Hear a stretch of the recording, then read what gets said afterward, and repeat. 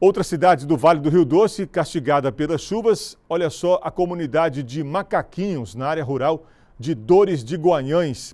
As chuvas atingiram essa comunidade, assustando a população local, viu? Muita água mesmo.